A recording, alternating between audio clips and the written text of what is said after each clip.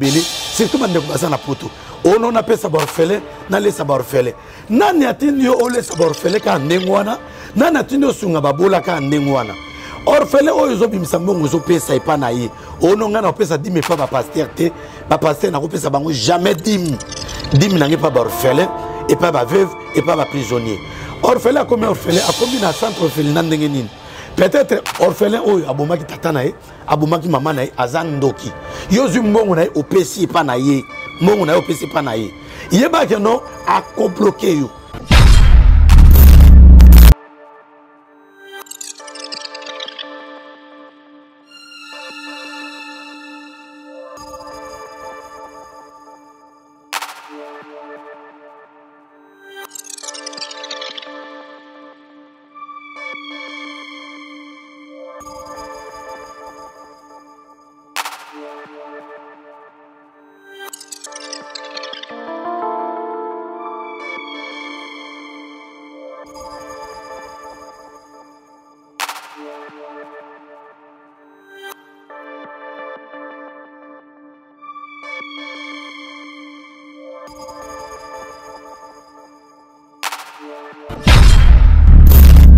na yo moto yango akufa na maladi ya cancer ya diabete ya sida lelo ozomona ke no okomi kobela mpe maladi wana makambo ezosimba te oza na joug kombo olata moto wana azalaka pauvre abunda na vie na ye simba te lelo yo mpe okomi na kombo wana e opesi meme bana na yo joug ezolandana ezokita voilà les trois grands esprits géants oyo ezo infiltre bana na bato lelo makambo esimba te tala vino malamu baespagne ekotaka ndenge nini soki moto akomi na vie ya desordre omona mobali alingisi mwasi na ye te poto ndenge nini moto aza na poto atindi kaka passeport awa na kinshasa moto azwi kaka foto atie na passeport mbala moko akei donc moto oyo azalaki na poto aperdre identité na ye moto aye sika nde akomi na identité na yo operde donc esprit ya dédoublement yo ozoyeba te par jésus bafo bazalaka lelo mpe bafo bazali bavrai mpe bazali ozomona bavrai baza bavrai neti ngai naza vrai obi neti ngai naza vrai qu'est-ce qui prouve koza vrai nasimbaki site nateyaka jésus christ de nazareth yehoshua amashia bapaster bele babaka au nom de dieu au nom de dieu au nom de jésus jesus nini na 50 jours nzambe alobeli nga alobi tokolisa ame na biso pendant 50 jours ya prière naye kobela makasi et je vu même j'ai frôlé la mort namoni ndenge nini nzoto ekendeke ndenge moto akufaka bon bato bapesaka batémoignage oyo oh, nakendeki boye namoni ale moloto namoni maye misambo okendeki wapi omonaki bango wapi yo omonaka ba musicien oyo ya congo omonaka boya étranger te je vu quand l'homme meurt sa conscience est oubliée il part dans un endroit où il ne va pas comprendre ame na ngai ezokende ezokende ezokende ezomata d'ailleurs ezalaki na bon sens parce que bible ezobake non les riches mourit il fut enseveli les pauvres lazare mourit il fut transporté par les anges jusqu'au sein d'abraham namoni ame na ngai ezomata ntango emati misu na ngai efungwami bazoyebisa ngai yebisa bato ame ekola ame ekolaka ndenge nini ekola na parole ekola na priere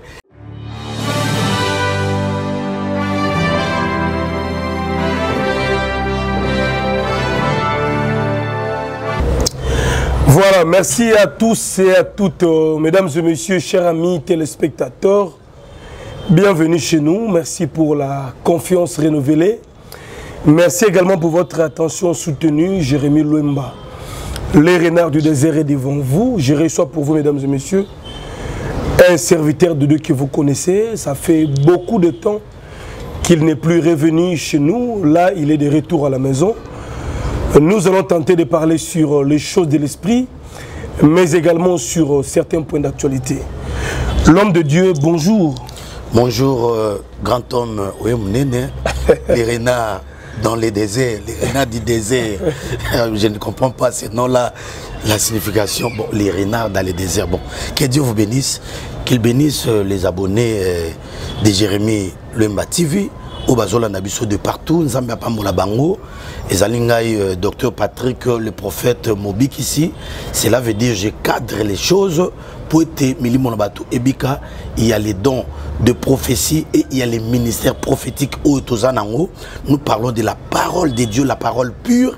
oyo ezosala kino libota na nzambe oyo babungaki bazonga na nzela epuis kosunga bato ete bakufa te bato babunga te base perdre te par rapport ya mopepe oyo ezoleka na lelo par rapport ya évangile ndenge eza combattu par les évangélistes, par les prophètes. Et au jour d'aujourd'hui, Dieu nous a sélectionnés. Il nous a choisis parce que Aïbisaki Eli, au Tikalio Mokote, il y a encore 7000 personnes au Bafoukamel Nanbalete. Parmi ces gens-là, les 7000, nous sommes là. Et au jour d'aujourd'hui, Dieu est en train de relever notre tête pour toutefois évangéliser, parler, prêcher la bonne nouvelle de Dieu qui va délivrer, guérir les enfants de Dieu.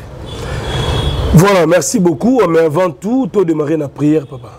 Éternel et bon Dieu, le Tout-Puissant, je te remercie. Dieu, c'est lui qui bénit je demande la bénédiction du ciel parce que la Bible dit tout don parfait et toute grâce excellente viennent d'en car l'homme ne peut recevoir que ce qui lui a été donné du ciel. Viens maintenant, Père de gloire, Seigneur, avec ta présence. Au cours de cette émission, Seigneur, que tu bénisses, que tu guérisses, que tu sauves. J'anéantis toute puissance diabolique des distractions au nom de Jésus. Que tu circoncises les oreilles de tes enfants. Père de gloire, Seigneur, que tu sois avec nous. Je bénis les journalistes et les caméramens au nom puissant de Jésus-Christ. Amen.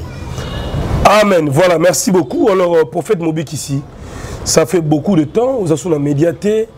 Est-ce que vous voyez Jackie ou bien il y avait un problème Non, il n'y avait pas un problème. J'avais na kota qui na ya bozindo il y a 50 jours et 50 jours tango esili na koti sous na 21 jours de prière pour na kolandela makambo oyo nzambe ayebisaki nga namona yango ekokisama j'étais comme jérémie dans la tour qui attendait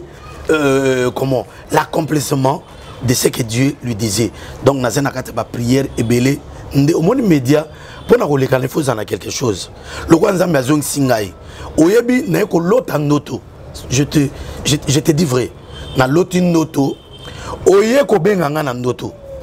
olobi na nga docteur patrick le prophète mobix naye kolamwisa yo na esika ozalaki tala ntango molai zongela émission oteya libota na nzambe ngabi ce n'est pas possible jérémie azo représente nani sur le plan spirituel j'ai compris ndenge osalaka mosala oyo tien évangéliste puissant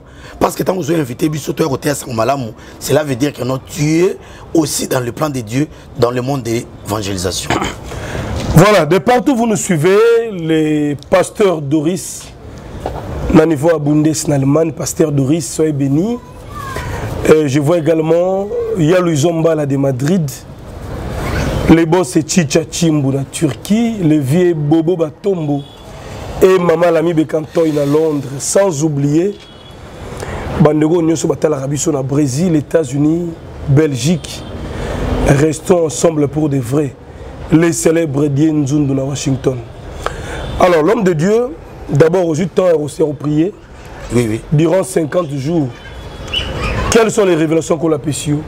révélation nzambe ya kolakisa ngai na 50 jours nzambe alobeli nga alobi tokolisa ame na biso pendant 50 jours ya prière naye kobela makasi et je vu même j'ai frôlé la mort namoni ndenge nini nzoto ekendeke ndenge moto akufaka bon bato bapesaka batémoignage oyo oh, nakendeki boye namoni ale moloto namoni maye misamble okendeki oh, wapi omonaki bango wapi yo omonaka bamusicien oyo ya congo omonaka baoyo étranger te je vu kalo mare sa conscience est oubliée il part dans un endroit où il ne va pas comprendre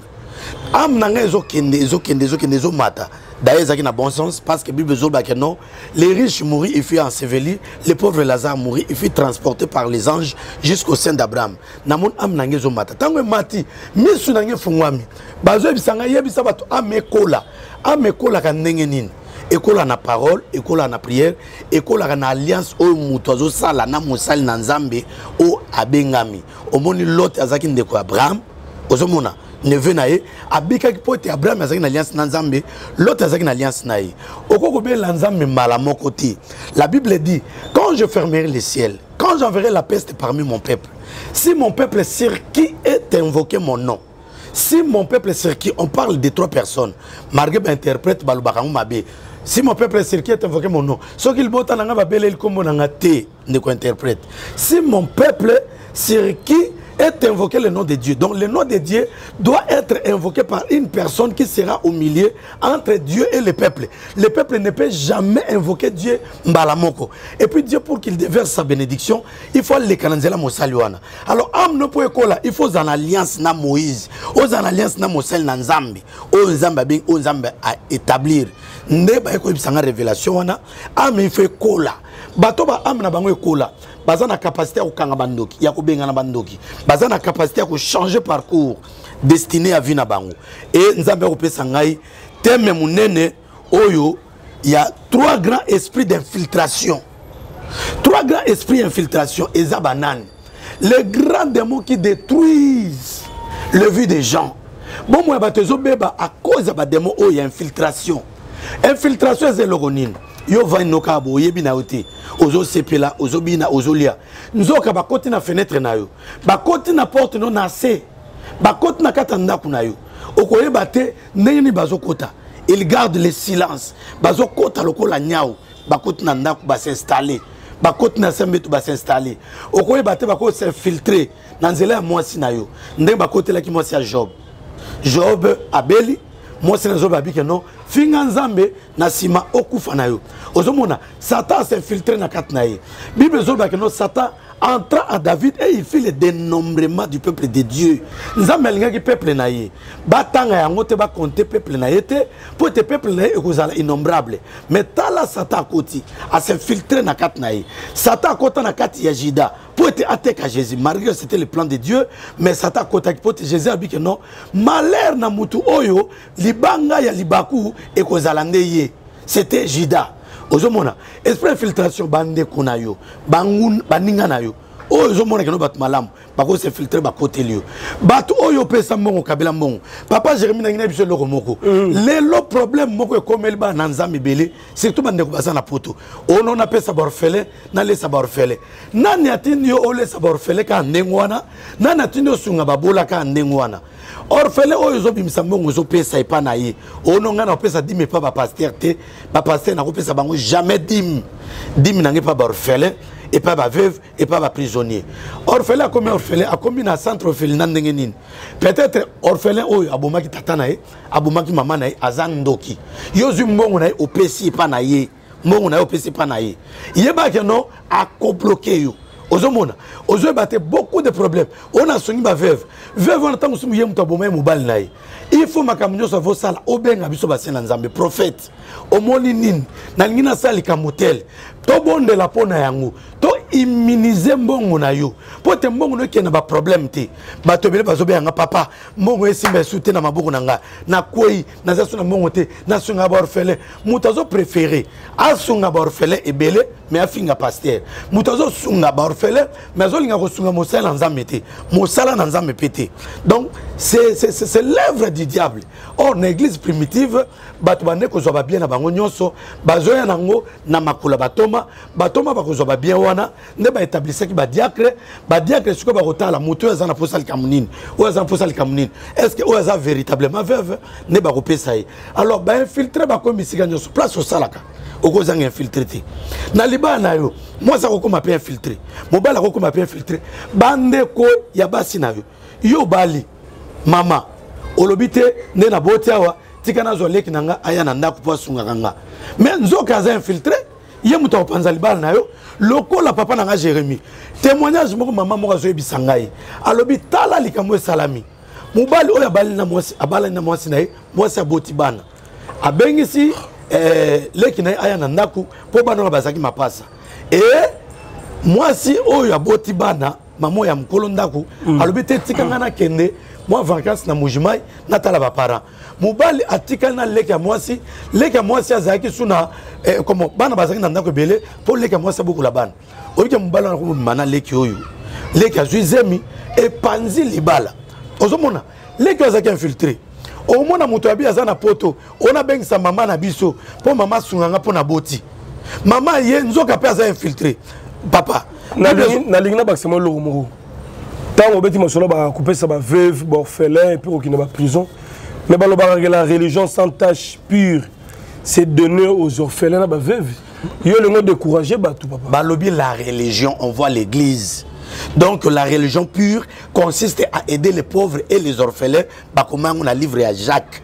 cela veut dire mbongo na yo okokende nango cangacanga te toyebani bilongi me toyebani mitema te mokili ya lelo ekomi motema mabe makasi okomona jérémi lwemba azoprogresse me moto moko azotielaka likunya bakale na pamba kaka bongo oza na mbongo na yo kosakana te omoni kozwa mbongo eza maseki te soki nzambe apesi ma mbongo il faut yeba kopérenise yango parce que mbongo eza oiseau bible elobi na proverbe chapitre 27 la richesse ne dire pas pour toujours car il n'y a pas une couronne éternelle richesse ekozala na maboko na yo operdre yango mpe ozomona il faut kopéreniser tala abraham nzambe apesi ye asimbi bozwi mais isaac ye bozwi ntango azwi akomi fort riche mais mpo apesa na mwana na ye ezau jacob ekomi keno kino ozwela ngai nyama e apesa bango bénédiction matérielle te physique te ezalaki en esprit bongo bozwi nyonso oyo nzambe atikela oyo abraham atikelaki ekei wapi donc attention moto mosusu akozwa blocage freinage mpo yo moko na poto to oza wapi to na afrique du sud to mpe na afrique awa okeka na centre ya orfele na ye mokolo centre wana na baorfele wana yo mpe etadame na bango il faut obenga mosali na nzambe si mon peuple sur qui est invoqué mon nom tala lelo bato bazwi beso importance ya basali na nzambe te tuna bana ya israele yo otangaka bible bible ya baisraelite wana bayeba ye basai na nzambe meme roi soki angaki bitumba il faut aluka mosai na nzambe meme peuple so baza na problème il faut baconsulte prophète mais lelo moto nyonso tuna ndako ndenge ngai nabondelaka ngai naza makasi makasi na maombi attention mais parce que bapaster baabuse trop papa bapaster beaucoup de faux bato baosani mais na ntango ya jésus bafaux bazalaka ah. babanda obenga bao babare jésus bafaux bazalaka lelo mpe bafaux bazali bavrai mpe bazali ozomona bavrai baza bavrai neti ngai naza vrai obi neti ngai naza vrai qu'est-ce qui prouve koza vrai nasimbaki site nateyaka jésus christ de nazareth yeroshua amashia bapastere bele babaka au nom de dieu au nom de dieu au nom de jésus jésus nini ngai nakumisaka nasambelaka nabondelaka na nkombo ya jésus christ de nazareth bible ezobaki no sous le soleil Il n'y a qu'un seul nom qui nous a été donné parmi les hommes par lesquels nous devons être sauvés, c'est le nom de Jésus-Christ. Voilà celui que moi j'adore. il est celui qui va changer ta vie bapasi oza nango badifficulté il y a quelqu'un qui peut changer ta vie c'est jésus christ maladie incurable yo obotaka te moto akopesa omwana c'est jésus christ de nazareth ngai nateyaka nayokaa soni te mpo ete asala ngai babien c'est lui qui m'a ressuscité c'est cet homme là de jésus christ il est le number one aleki banzambe nyonso tu ye azalaki azali mpe akozala yango nazo confirme nasimbaki site je suis dans le vrai je suis dans le véritable yehoshua mash alors na trois grands esprit oyo ya, ya, ya, ya, ya bainfiltre tozomona esprit de boucle c'est un grand esprit esprit de boucle oyo na olobela awa apart esprit de boucle eza na esprit ya dédoublement oyo nzambe arevelaki nga boucle dédoublement ya suka ezali esprit de jougue jougue bato ebele babondelaka olonso prise le jougue tuna ye jour eza nini ayebi te mm. na bandi na boucle mm. ozomona mm. molimo ya boucle satan azotravaille makasi na molimo wana mm. satan molimo molimo ya boucle le démon de boucle nzambe ayebisi bana israel vous avez assez demeuré sur cette montagne boumeli mingi na montagne oyo il faut bokende destination il faut balongwa ya egypte bakota na terre promise mais bakomi kosala rond point oyebi jacob ntango alongwaki na terre promise na cana mpo aya na egypte asalaki 3 jours de marche avec 70 personnes mm. mais bana ezali ntango babimi basali 40 ans pourquoi ozomona satan demon de boucle akomi koprofite koboucle vie ya bana bato moto ake mpo to koluka vie na ezaka neti aza na kinshasa baboucle ye ozomona na kati ya boucle osalikama malamu te boucle na libala bando bala mobali wana okaseke noko kobonga ozobonga te mobali azalaki gentil ntango ozalaki bafiance okoti na ndako libala akomi konyokola yo azwi lo deuxième bureau troisième bureau misusu oyebi misusu oyebi te baami na yo mobali wana akomi na bango balati yo esprit ya boucle esprit ya boucle financière molimo ya boucle wana ya mbongo ozomona banda ozalaki na 10 000 emataka te 10 000 dollars kaka 10 000 dollars baproblème d'ailleurs okomi kokita lisusu donc esprit ya boucle ekoteli bato ebele esprit ya boucle wana ekotinda bademo baye koyiba mbongo na konti na yo mpo ozonga na case du départ ozalaka wana molimo ya rond point bato ebele baobenga ngai na poto papa mbongo na ngai na konte ezolimwa epai ya mindele bato ya mikanda bato ya loi me mbongo na ngai ezolimwa nazo comprendre te yeba keno eza molimo ya boucle bakotisi na kati ya bomoi na yo bandeko ebele bazalaki na kisasa bake na ngola balobi kuna na ngola nde tokobonga bakoma kuna molimo ya kisasa elandi bango molimo ya boucle bake na afrique du sud vie pasi vie difficile okomi na poto ozozwa mokanda te molimo ya boucle basalaka ndenge nini bazosala ete ovivre kaka vie ozalaki nango na ebandeli ozonga na nsima voilà l'esprit de boucle ezotungisa bato ebele omonaka yano makambo obota boucle ozo avance te banda ozalaki na mobali wana mobali abali yo mai molimo ya boucle ezotungisa bato ebele ezonyokola bato ebele boucle tine na bandoto ozomona moto azolota ndoto azokende mbango mais azokokima mbangu comment azolinga kima mbangu mais azo kokima mbangu te bazolanda ye molimo ya boucle ntina ndoto ezozongisa ye nsima ozomona omwaki no moto aloti ndoto azotonga me ndako na ekwei moto azolota ndoto aza na mobali me okomona mobali yango aboyi ye moto azolota ndoto banyama babiloko moko ezolandalanda ye tout ça ezali mpo bazongisa ye nsima molimo ya boucle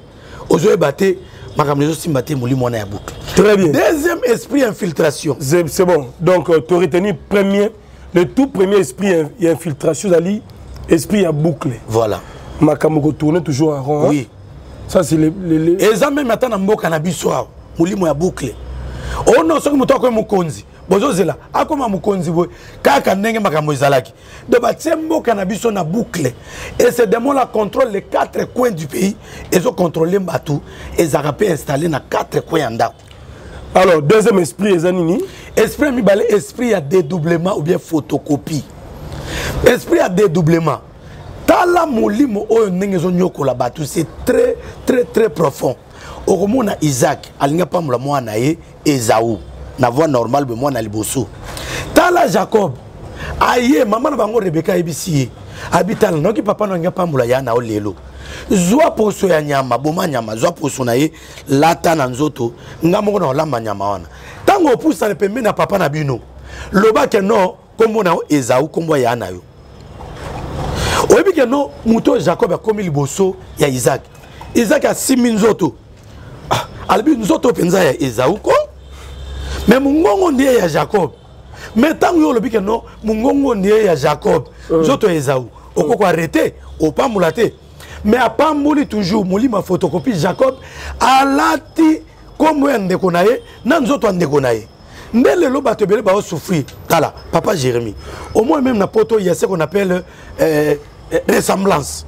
moto akomi akoti to na nzela ya maroc to soki na ndenge ya espagne na kati mai na grèce azoluka ressemblance cela veut dire moto moko akozala na bafrance na belgique oyo bakokana ye mpo asa nini akota akotrompe vigilance ya bato basurveillaka lokola neti ye mais eza ye te akoti oyebi kala na mboka na biso bato ebele bakende poto ndenge nini moto aza na poto atindi kaka passeport awa na kinshasa moto azwi kaka foto atie na passeport mbala moko akei donc moto oyo azalaki na poto aperdre identité na ye moto aye sika nde akomi na identité na yo operde donc esprit ya dédoublement yo ozoyeba te molimo ya dedoublement oyo esali keno jacob azwi lipamboli ya yaya na ye azoyeba te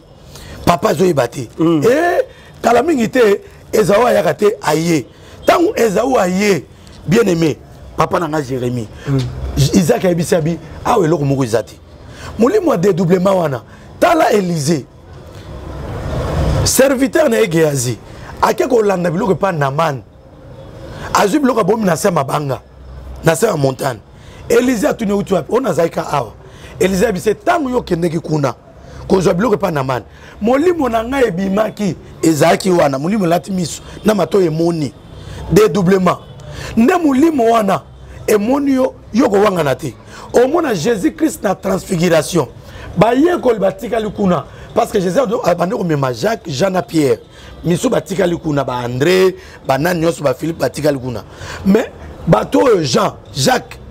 na pierre bamoni dédoublement bamoni jésus christ est transformé akomi ndenge mosusu ndenge jésus christ akomaki wana badisiple batikalaki kuna batikalaki koyeba te nde misato bapropose jésus balui awa tokosala trois tante tante ya yo ya moïse na eli mpo bamoni forme mosusu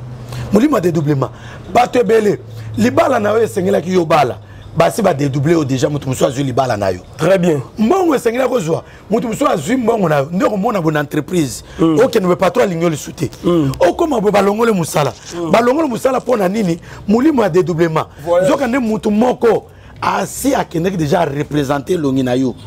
moto moko ake afengi patron ata na mnoto nzoka eza nango yo te patron ntango amoni yo okoma kaka boye alingi yo lisu te libala ezosimba esu te balingi yo esu te mpa mobali mpo na nini dedoublement ozolala na mbeto na mobali me mobali azolota ndoto oza monstre oza lion oza nyama ozobongola forme elongi na yo e mobali akolemba baye yo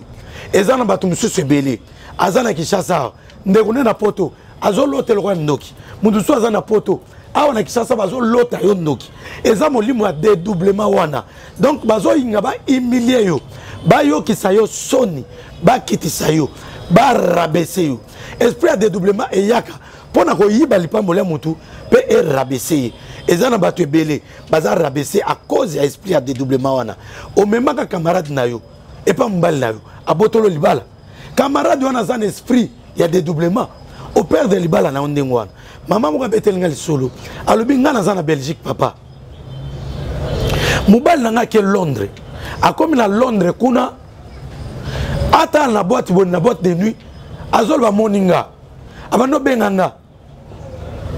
eveline eveline eveline namoni yo na, na boîte de nuit ana londres eveline abi o oh. eveline napesaki ya kombo exemple eza eveline te mobali abi namoni yo na boîte ya mwasi abi natikali na ndako na bana zela na pasi yo bana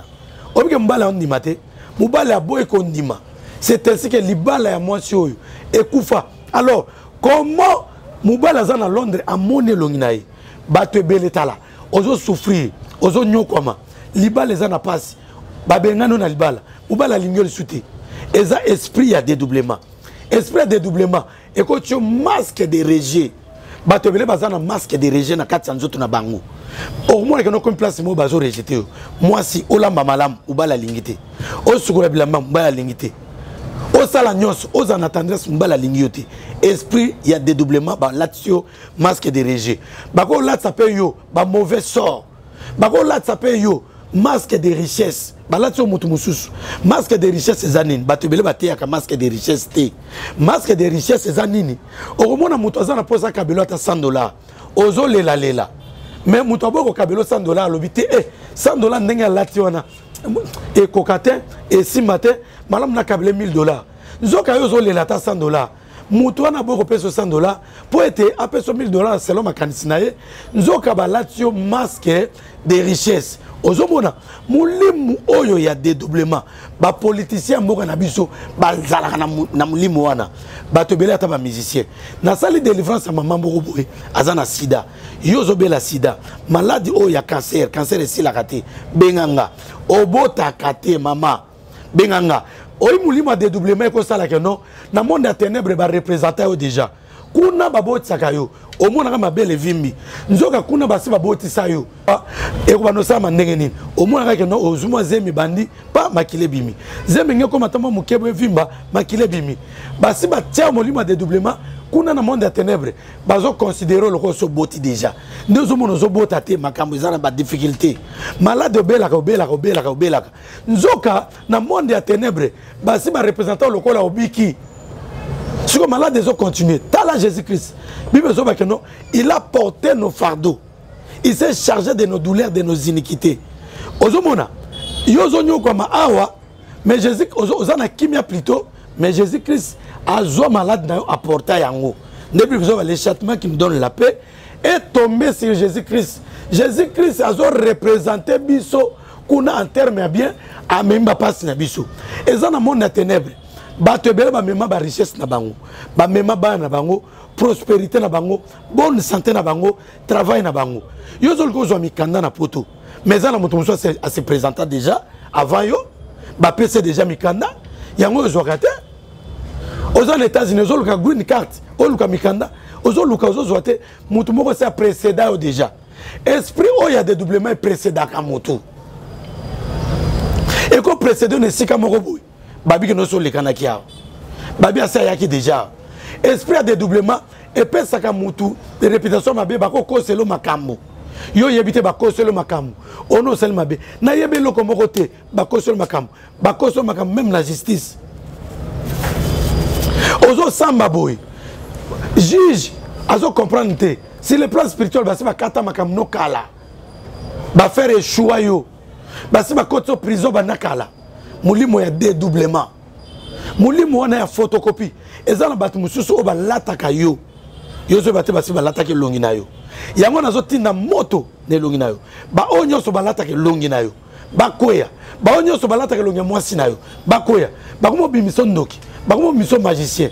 tika ete nzambe na lola alatisa elongi no moto obanda kopela moto sikoyo molimo ya infiltration wana oyo ya dédoublement et puis le troisième esprit géant d'infiltration molimo ya jougue jougue c'est quoi bato ebele baza na bajougue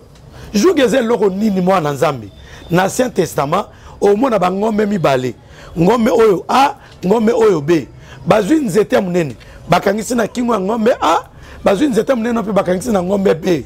soki ngombe a alingaki na gauche ngombe b il faut mpe alandaka mouvement ya a omona ngombe oyo ya droite alingi akende boye ata oyo alembaki oyo aza oblige alanda ye c'est ça le joug bato ebele baza na bajoug oza na poto me bakangisa yo joug na moto moko aza na mboka moto yango abela maladi ya diabete yoko oliaka biloko omela mpe basecrete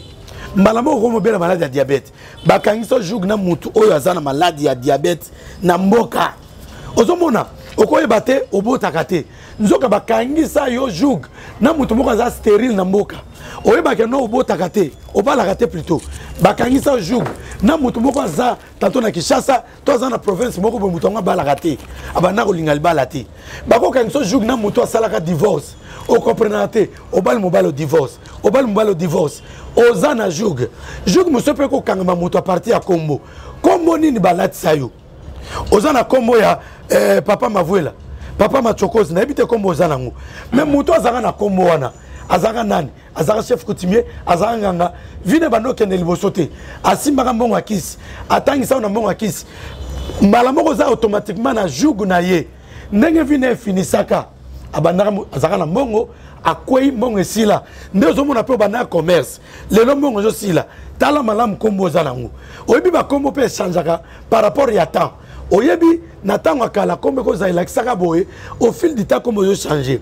nkombo mpe echange ya connotation par rapport ya bacontre biso na kinshasa tolobaka mbula ebeti toyebi keno mbula eza la pluie eza mai mais na brazzaville okoloba mbula te donc même non mais na contrat mosusu echange connotation nkombo bapesa yo bapesa okombo mambweni bapesa okombo nayebi te eh, eh, pokotoi me pokotoi wana na mboka na biso elakisita kisita na mboka na biso elakisi eza na signification mosusu me na ngambo ya mboka mosusu eza na signification mosusu nde ozomona ecreye joug epesi po moko oyo yo okangami na moto moko par force olinga olinga te okomi kobela malade mo malade incurable nzoka nkombo ozolata eza na moto moko mpe azalaka na yango na famille na bino moto yango nde ndoyi na yo moto yango akufa na maladi ya cancer ya diabete ya sida lelo ozomona keno okomi kobela mpe maladi wana makambo ezosimba te oza na joug kombo olata moto wana azalaka pauvre abunda na vie na ye esimba te lelo yo mpe okomi na nkombo wana e opesi meme bana na yo joug ezolandana ezokita voilà les trois grands esprits géant oyo ezo infiltre bana na bato lelo makambo esimba te tala vino malamu baesprane ekotaka ndenge nini soki moto akomi na vie ya desordre omona mobali alingisi mwasi na ye te mobali akomi infidèle infidélité infidélité totale nzoka nde molimo ya jugu wana enge rabese ye omona keno vi ya masanga ya kwiti moto azobosana keno nde eza boye na oke ata mosala na rtl kwiti elekisi ye alekeli ntango molimo ya jugu ekangi bato ebele nde bible ezoba l'onction brise les jougs tika ete bajuge nyonso tu oyo eza na nzoto na yo bajuge nyonso tu oyo bakanga yo bajuge ya coutume coutume na bino eloba nini keno ndenge eza boye babalaka tel aire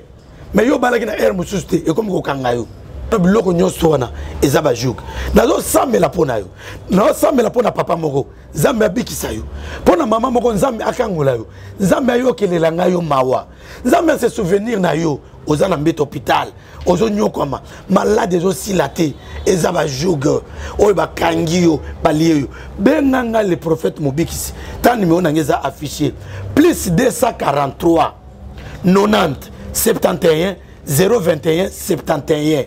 plus 243 90 71 021 71 papa jérémie akosunga nga akoaffiche yango na ba écran mpo ete obenga nga nakota na service ya délivrance ya vie na yo oza na besoin ozwa délivrance délivrance eza très important kobeta tembe te soki bapasteur badesevra yo baprofete badesevra yo balia yo bambongo nga naza le prophète mobikisi l'éternel m'a envoyé pour apporter la bonne nouvelle pour apporter la solution à ceux qui sont malades, à ceux qui ont des problèmes et des difficultés. Yobo, c'est la bango 200 euros, le rôle Joël Francis. Hein? Tala, Bible Zoloba, mm. vous avez reçu gratuitement.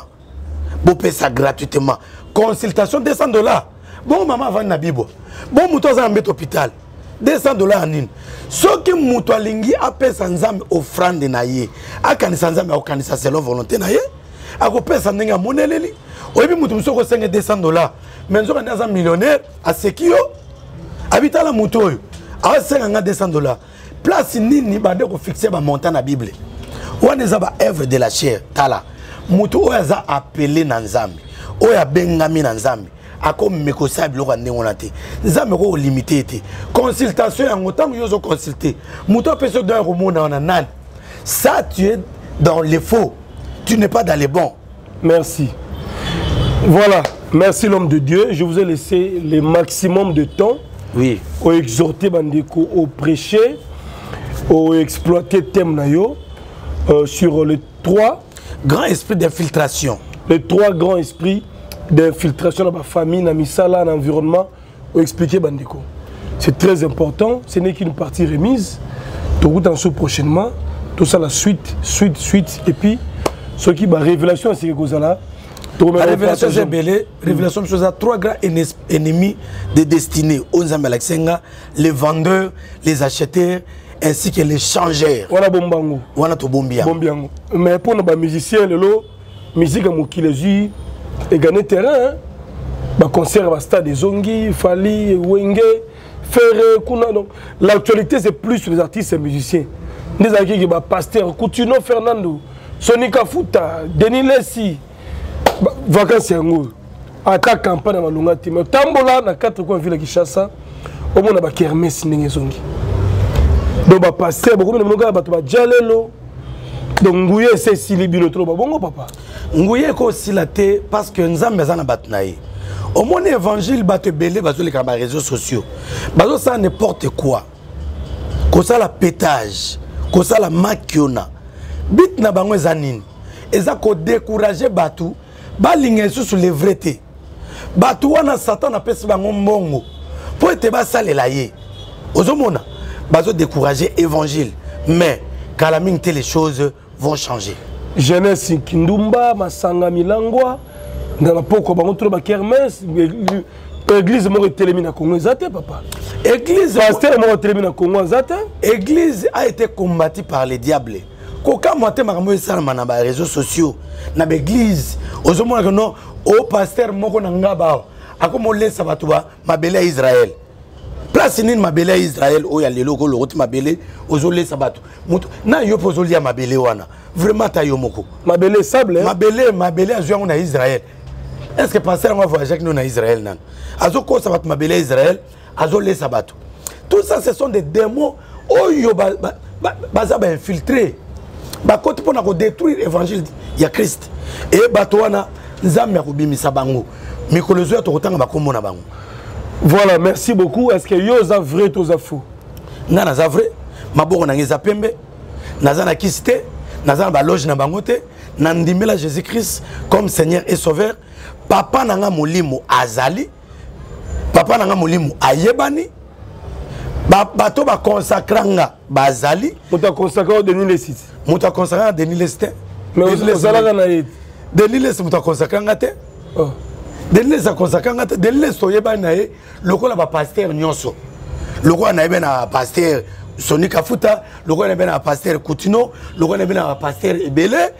nayebaki mpe na pasteur denis lesi mais ye moto akonsaka nga te papa na nga molimo docteur bapeti